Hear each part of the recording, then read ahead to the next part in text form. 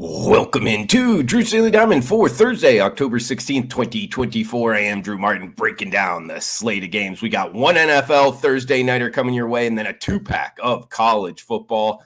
So let me know in the comments below what your picks are for tonight, for this weekend. All is welcome. I'll be in there chiming away with you guys. It helps out the algorithm. Smash that like button if you're liking the content. Also, if you've been profiting with us, guys, we got the Tuesday recap here two and one plus 0.9 units.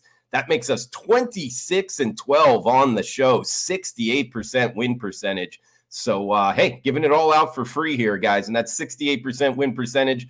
Again, it's not minus 150, minus 170, and then claiming the win percentage. No, no, no. We're factoring in the VIG plus 12.52 units of profit, $100 better up $1,252 if you've been following along on the show. Let's get into the games. 8:15 Eastern, 5:15 Pacific, Amazon Prime. NFL game up first, Denver and New Orleans. Broncos minus 2 in the hook. There is a couple 3s as I'm doing this show the night before as the road favorite, 37 being the total.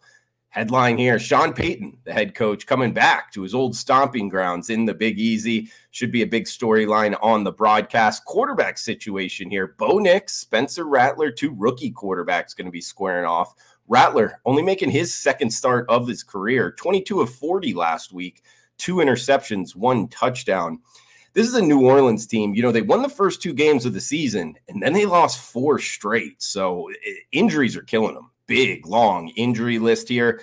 Uh, their best wide receiver, Chris Olave, uh, likely out with a concussion. Actually, cluster injuries at the wide receiver spot, which sometimes injuries in the NFL can be overrated because, you know, the backup's also a professional. But when you get these cluster injuries, that is something to watch.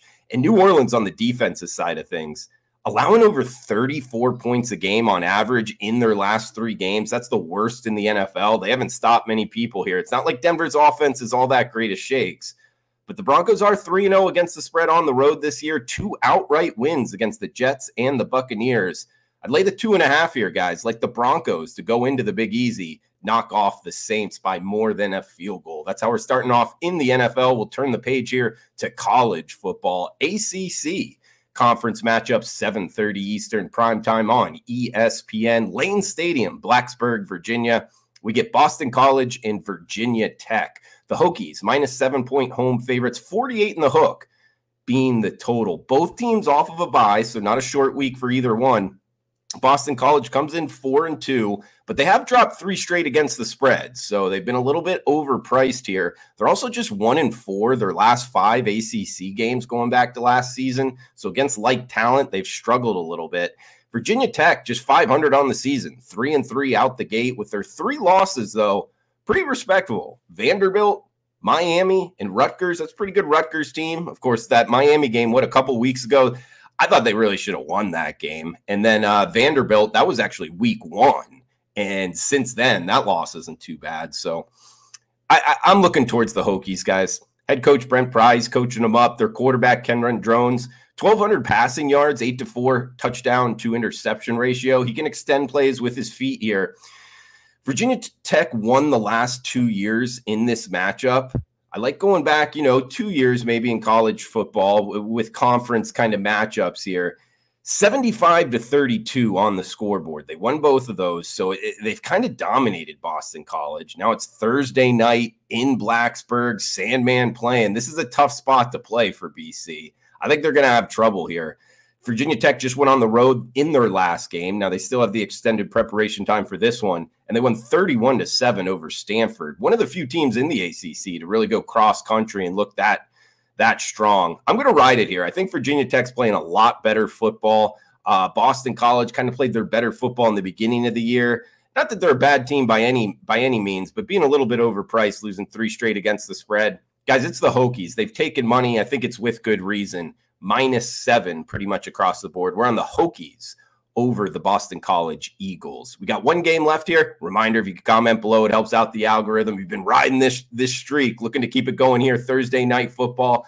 Got the client cards coming out here on Friday, Saturday, and Sunday. College football, the NFL. Trying to pick out a couple spots here with the MLB playoffs. Been a haven't been firing away as much, but the football run, guys, it has been great for the clients. What 17 and 6 uh, football run, so you can get the 5% NFL. It is up and available. And we got the uh, long term packages where you can buy like the rest of the year and get next year, things of that nature. So check that out. Drew Martin, experts page, wagertalk.com. All right, last game up, heading to the Sun Belt here. ESPN 2. So two games going to be going on at once in college football. And for, for some of this time, you know, all three games. It's Georgia State and Marshall. Marshall, the Thundering Herd. Split line here, minus eight and a hook, minus nine, depending where we're shopping. 51 being the total. Huntington, West Virginia. It's Marshall hosting Georgia State.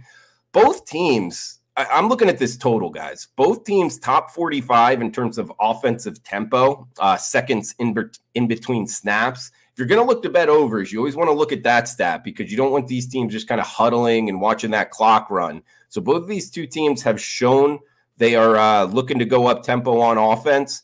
Sidewise, Marshall's three and three but they're six and zero, oh, depending what number, six and zero oh or five and one against the spread. Their only loss being last last week. They were up twenty three to three in the fourth quarter, and they lost to Georgia Southern. They kind of gave that up in the fourth, but they're coming back home. They're three and zero oh at home.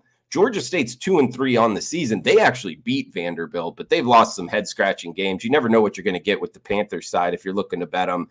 That's why we kind of see this number flirting with double digits and Marshall's running back AJ Turner, he's averaging nine yards a carry. So they're going to have their work cut out for him stopping that run game. And Georgia State has not been good at stopping the run. I mean, they're in the 100s in most defensive categories, you know, across college football. They allow more than 400 yards a game. So I think Marshall's going to be able to go up and down the, the field and score. And Marshall's defense is pretty much flirting with the 100s as well. They, they haven't been stopping all that many people so with the tempo from both offenses and both defenses really struggling, I, I actually like this over, guys. Over 51. I was looking at Marshall because Georgia State, they this is their first real road game. The, I think the first game of the year they played Georgia Tech, which Georgia Tech and Georgia State are like within five miles of each other in the city of Atlanta. So this is the first time they're going to have to be getting on a plane. I'm a little bit worrisome of that for for the Georgia State side that's what made me look towards Marshall. But even more so, guys, I, I, think this 51, I think I think it's a little low. I think this gets into the upper 50s and beyond. So we're going Georgia State Marshall up and over 51 to end the Thursday show here. Drew's Daily Diamond. Hopefully, keeping the winners coming, guys. Let me know in the comments below uh, that you're watching. Smash that like button. Check out premium picks, wagertalk.com. We'll be back for tomorrow's show. Come back and join us on Friday. Until then, enjoy the rest of your Thursday. Cash those tickets.